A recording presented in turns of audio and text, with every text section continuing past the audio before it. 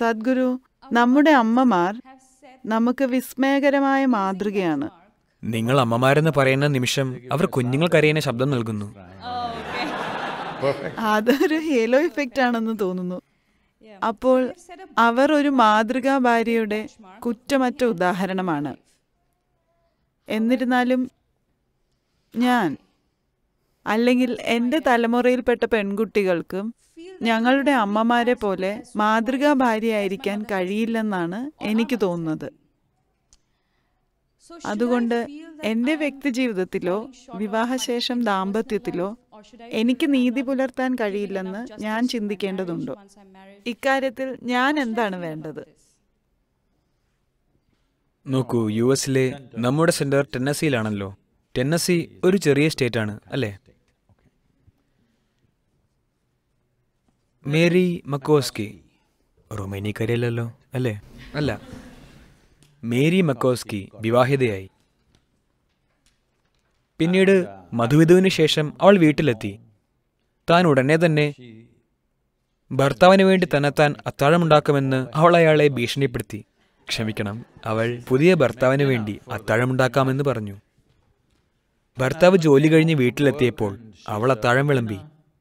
അയാളത് വായിൽ വെച്ച് ചവച്ചരയ്ക്കുകയും ആഴമുള്ള ചിന്തയിൽ മുഴുകുകയും ചെയ്തു. അത്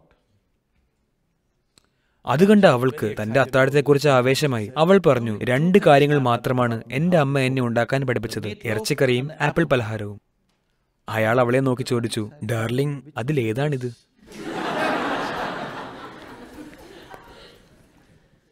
അതുകൊണ്ട് നിങ്ങളുടെ അമ്മയും അമ്മൂമ്മയുമെല്ലാം എങ്ങനെ നല്ല ഭാര്യമാരായി?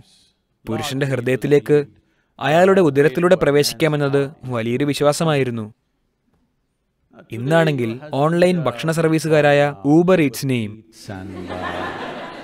ക്വിക്ക് പിക്സിനെയും സ്വിഗ്ഗിയെയും മറ്റും ഫോൺ വിളിക്കുകയായിരിക്കും നിങ്ങളുടെ ഭർത്താവ് ചെയ്യുക അല്ലേ? അതുകൊണ്ട് നിങ്ങളുടെ അമ്മൂമ്മയെ നല്ല ഭാര്യയാക്കിയ കാര്യങ്ങൾ നിങ്ങളെ നല്ല ഭാര്യയാക്കില്ല. അമ്മയുടെ രീതികൾ അനുകരിച്ചുകൊണ്ട് നിങ്ങൾക്ക് നല്ല ഭാര്യയാകാൻ കഴിയില്ല. സാഹചര്യങ്ങൾ മാറി പ്രതീക്ഷകളും മാറി അല്ലേ? ഇനി അതിനുള്ള വഴി വയറ്റിലല്ല. ചിലർക്കത് തലയിലാണ് ചിലർക്ക് താഴെ തെക്ക് ഭാഗത്തേക്കും. അതെ. അതുകൊണ്ട് നിങ്ങളങ്ങനെ ചെയ്യണ്ട.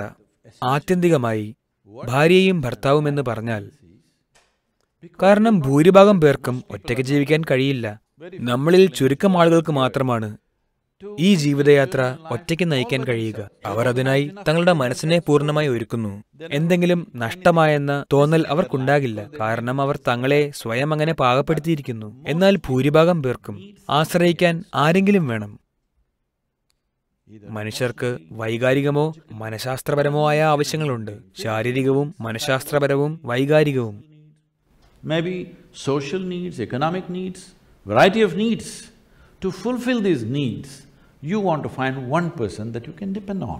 ചിലപ്പോൾ സാമൂഹികവും സാമ്പത്തികവുമായ ആവശ്യങ്ങളുണ്ടാകാം. ഇവ നിറവേറ്റുന്നതിന് നിങ്ങൾക്കൊരാളെ ആശ്രയിക്കേണ്ടിയിരിക്കുന്നു. എന്നാൽ നിങ്ങൾക്കുള്ള എല്ലാ കാര്യങ്ങളും പങ്കുവയ്ക്കുന്നതിന് ഒരാളെ കണ്ടെത്താൻ പോലും പ്രയാസമാണ്. നിങ്ങളുടെ ശരീരവും മനസ്സും വികാരങ്ങളും പ്രവർത്തികളും. അതുകൊണ്ട് ഇതാണ് ഉദ്ദേശം. അതായത് ദാമ്പത്യം സമ്പ്രദായമാക്കിയാൽ ചെറിയ ചെറിയ സംഘർഷങ്ങൾ നിങ്ങളുടെ ബന്ധത്തെ തകർക്കില്ല.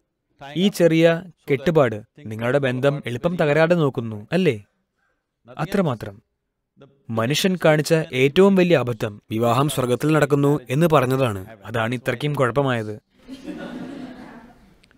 ഇത് ഇവിടെയാണ് നടക്കുന്നത്? വിവാഹം നമുക്കിടയിലാണെന്ന് മനസ്സിലാക്കുകയും നമ്മളെന്ന് ഉത്തരവാദിത്വം ഏൽക്കുകയും ചെയ്താൽ നമ്മുടെ ദാമ്പത്യം നല്ലതാകും. എന്നാൽ അത് സ്വർഗത്തിലാണല്ലോ അത് ഇവിടെ യോജിക്കില്ല. കാരണം അത് ഈ ലോകത്തിന്റെതല്ല. എല്ലാം കുഴപ്പത്തിലായിരിക്കുന്നു. ദാമ്പത്യം ഉണ്ടായത് മറ്റൊരിടത്തു നിന്നാണെന്ന് നിങ്ങൾ കരുതുന്നു. സ്വന്തം ക്ഷേമത്തിനായി നിങ്ങളാണ് അത് സൃഷ്ടിച്ചത് എന്ന് മനസ്സിലാക്കിയാൽ നിങ്ങളുടെ ആവശ്യങ്ങളും ലക്ഷ്യങ്ങളും നിറവേറ്റുന്നതിനും അതുവഴി ജീവിതയാത്രയിലെ പ്രശ്നങ്ങളും സംഘർഷങ്ങളും കുറയ്ക്കുന്നതിനും നിങ്ങൾക്ക് കഴിയുന്നു. അപ്പോൾ അത് കൂടുതൽ ഉത്തരവാദിത്വത്തോടെ കൈകാര്യം ചെയ്യാം. എന്നാൽ ഇക്കാലത്തെ ആവശ്യങ്ങളെക്കുറിച്ച് പറഞ്ഞാൽ നിങ്ങളുടെ അമ്മൂമ്മ ദാമ്പത്യം നയിച്ചതുപോലെയല്ല അതേ രീതി പറ്റില്ല. കാരണം പ്രതീക്ഷകളും സാഹചര്യങ്ങളും അപ്പാടെ മാറിയിരിക്കുന്നു. അതുകൊണ്ട് സ്വന്തം സുഹൃത്തിനോട് നിങ്ങൾ അടുപ്പം കാണിച്ചാൽ അത് നിങ്ങളുടെ ആവശ്യമാണ്. നിങ്ങളുടെ ആവശ്യമാണ് ആ ബന്ധത്തിന് ആധാരം. ഒരുപക്ഷെ അയാൾക്കും അത് ആവശ്യമാകാം. എന്നാൽ അത് അയാളുടെ വശം. നിങ്ങളെ സംബന്ധിച്ചിടത്തോളം നിങ്ങളാണ് ആ ബന്ധമുണ്ടാക്കിയത്. കാരണം നിങ്ങൾക്കത് ഉണ്ടായേ തീരൂ അല്ലേ?